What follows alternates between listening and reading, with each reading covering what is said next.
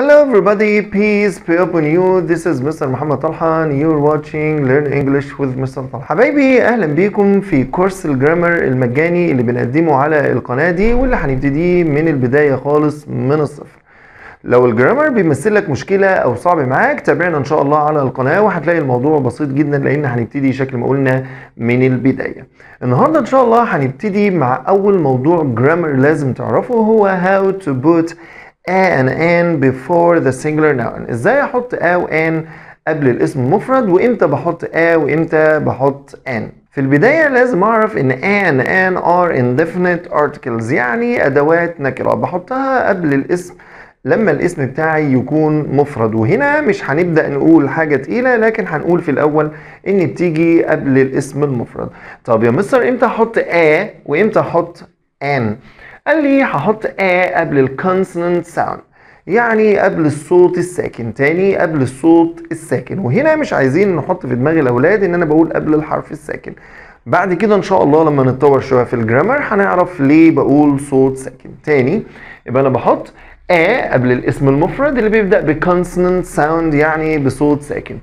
أما an بتيجي قبل ال singular noun يعني الاسم المفرد اللي بيبدأ ب vowel sound يعني بصوت متحرك.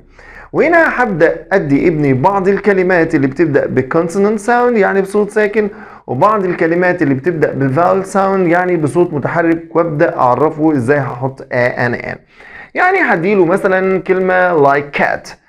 Cat يعني قطة. هبدأ أقول له تعالى نشوف يلا ال first letter الحرف الأولاني أو الصوت الأولاني هو ك أو حرف ال C طيب ال k sound هتقول لي ده صوت ساكن فبالتالي لازم أحط قبله a يبقى هنا الأول بعرف إنه حرف ساكن أو صوت ساكن فبالتالي بحط قبله a بديله كلمة شكل كلمة pen.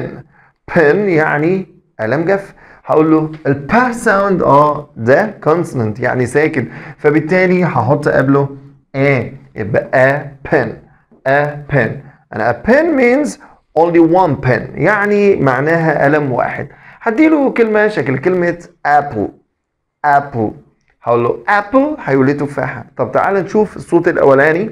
a a طبعا هو واخد الأصوات المتحركة أو الحروف المتحركة اللي هي a E I O and U. طبعا الأصوات دي على طول بجيب قبلها an فهيقول لي apple A هنا. Vowel متحرك فبالتالي هحط قبله an an فتبقى an apple an apple يعني تفاحة واحدة only one apple. تعال نشوف egg.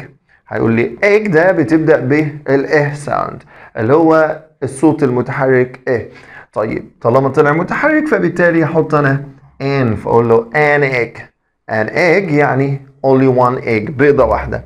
طيب kite الكا ساوند آه ده consonant ساكن فبالتالي لازم أحط قبله a فتبقى a kite a kite only one kite bike bike it's bass sound bass sound هتقول لي consonant ساكن فبالتالي هحط قبله a وتبقى a bike a bike.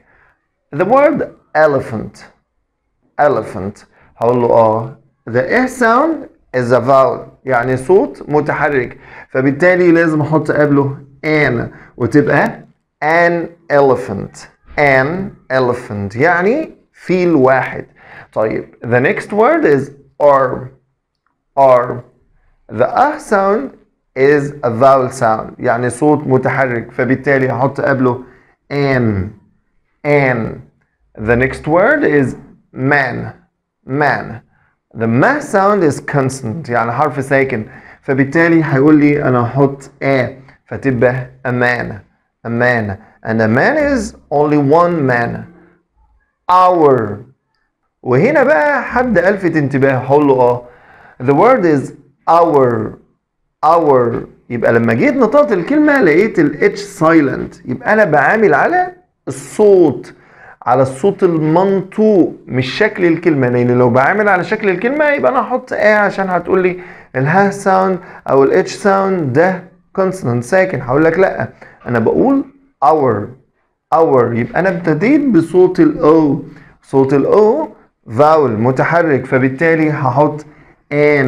فأقول an hour an our an our so the word umbrella umbrella umbrella هيقول لي اه uh, the ah sound is a vowel sound يعني صوت متحرك فبالتالي هحط قبله an وتبقى an umbrella an umbrella the word nose nose هقول له نه sound ده صوت ها ساكن فبالتالي لازم احط قبله a فاقول a nose a nose يعني one nose وبكده يبقى انا ابني عرف how to put a and an before the singular noun يعني قبل الاسم المفرد Thank you very much for watching but don't forget like, share, subscribe and don't forget the bell so that you can watch all our episodes. Goodbye. السلام عليكم